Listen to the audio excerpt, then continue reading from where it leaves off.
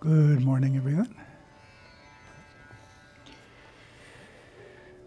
We are continuing our new series this morning, going through the lessons in merging with Siva, commenting on them, and doing it in chronological order, meaning the talks that were given earlier will be done first.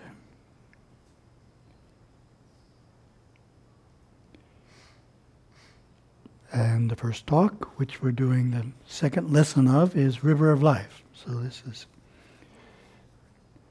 continuing with the second lesson of River of Life. Little bit about the Ganges first. It's interesting facts. Of course, Ganges is the English word. The word in Indian language is Ganga, long A on the second A. Ganga. Swami Harshananda's Encyclopedia of Hinduism has an excellent description from the religious point of view. In other words, you could look at a river historically, uh, in terms of nature, in terms of economy. This is looking at it in terms of Hinduism. The rivers of a country are its lifeline. Hindu India has always looked upon its rivers not just as physical or natural objects, but as divinities, goddesses of prosperity. Of all the rivers of India, no river has captivated the minds and hearts of the people more than the river Ganga. For many a Hindu, a bath in it is a lifetime's ambition. No religious act can be ceremonially complete without its water being used in some form or the other. A bath in any river cleanses the body,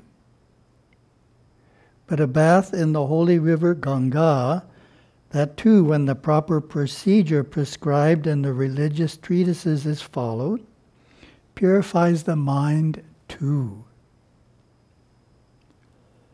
Following are the various steps given to be followed by an earnest pilgrim who wishes to take a ritual bath in the holy river.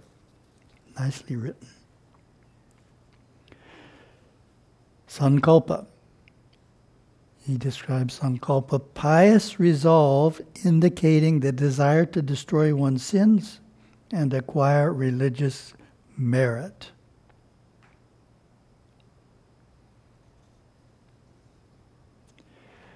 I have a way of describing that. Usually it's in terms of Thaipusam, carrying of kavadi, that's the most frequent uh, penance or prayaschitta that comes in on my email. Every year, a few in various countries. So when they ask how to go about it, I give a suggestion on the Sankalpa, what they have in mind in doing it. Need to have in mind the actions which you regret doing, asking the deity, in that case Lord Murugan's blessings to get rid of those negative karmas and promising you'll try your best not to do it again. I think that's an important part. We're not supposed to just keep doing the same thing over and over again and go to the deity to forgive us every year. We're trying to actually improve our behavior. After Sankalpa, selecting a suitable spot in the river for taking the bath, repeating mantras, water sipping, Avahana, invitation to the river goddess to be present at that particular spot by uttering her names.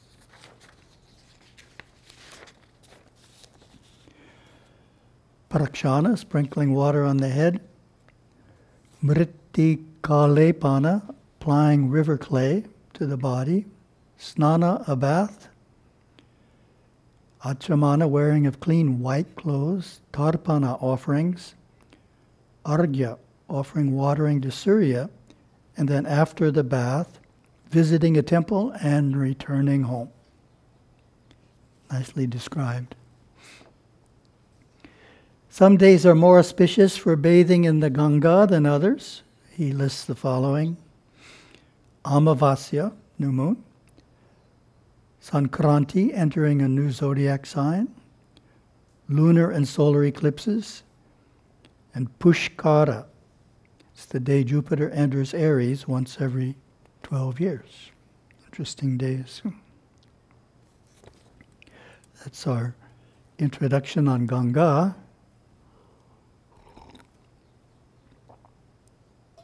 And we get Tuesday's lesson 23 affectionate detachment. Meditate on a river. Follow it as a visual image from its source to the end where it merges into the sea. You can now clearly see where you have been clinging to the bank of life's river. You will plainly see just how long you have been clinging to various attachments by holding on to fears, worries, doubts of the future, and regrets about the past. Looking at attachment, we see how it holds the mind down, how it submerges personality. Attachment is a stationary thing. Attachment creates the personality.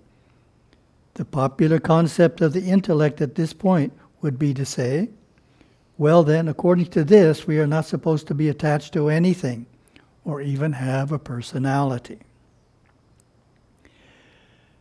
But I take this one step farther and tell you become affectionately detached, for by becoming affectionately detached, you absorb all the power of the spiritual force within you. When you absorb the power of the Spirit through the body, you will be able to feel it flowing through your most subtle nerves. This vibrant spiritual force within you, vibrating through every cell of the body, quieting the emotions and bringing the mind into effortless concentration, is born of affectionate detachment. Affectionate detachment is stronger than any attachment could possibly be because attachment is created through unfulfilled desire, salted and peppered with fear. Fear of loss, fear of the unexpected, fear that life may not have much more to offer than what has already been offered, fear of old age, fear of harm, fear of accident, these are the fears which salt and pepper the unfulfilled desires. This is attachment. To be affectionately detached, that is a power, that is a wisdom, that is a love greater than any emotional love, a love born of understanding, a love that merges you into the river of life and allows actinic force to flow within you so that you realize God we all still have those little attachments. the good ones, the need for love, acceptance, and security. These attachments form the positive aspects of the subconscious.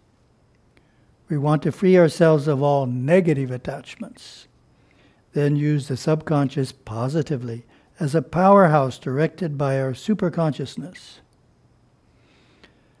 There is a great wisdom in cultivated affectionate detachment. Let go of the past, let go of the future. Be a being right now. Being detached does not mean running away from life or being insensitive. It makes us extremely sensitive. When we have the ability to let go, we are warmer, more friendly, more wholesome, more human, and closer to our family and friends. And I have a few comments on all of that.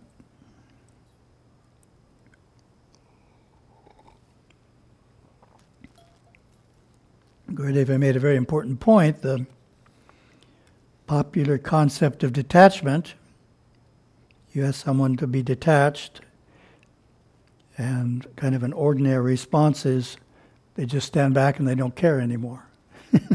Become a cold person toward the situation. So that's not what Gurudeva wants. He doesn't want cold detachment, he wants affectionate detachment.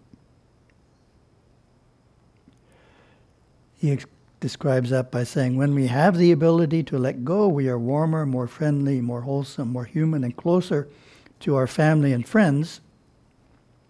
And the way I like to describe that is we're not depending on them for strength, inspiration, and all, but we're finding that within ourselves and sharing it with others. So that's the difference. Attachment is depending on others for strength and inspiration, and affectionate detachment is finding that within ourselves and then sharing it with others in a friendly way. Gurudeva also makes the point, just to be clear, that some attachments are good. He lists them the need for love, acceptance, and security. These attachments form the positive aspects of the subconscious, and we just want to free ourselves of the negative ones. So that's a clarification.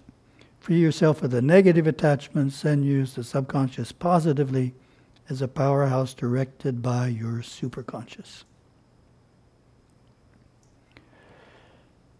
Then we get the idea of fear.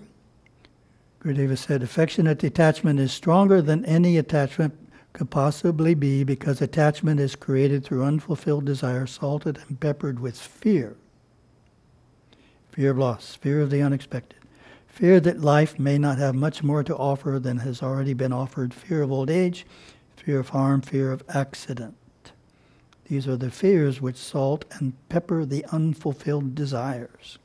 This is attachment.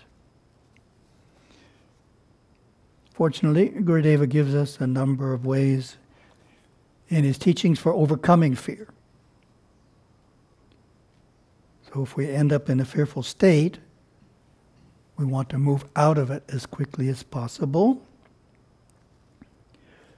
What are some common examples? An important event, we get kind of fearful. We have an important job interview coming up or a student has a major exam that determines his or her whole, whole future in academic world, well, it's natural to be a little fearful. One of the simplest techniques Gurudeva gives us is simply taking time to regulate the breath. Basic pranayama. Doing that for a few days every day before the exam, say for a week before the exam or the interview, we take time to center ourselves through pranayama and get ourselves calm by regulating the breath. And in that way, we can minimize fear.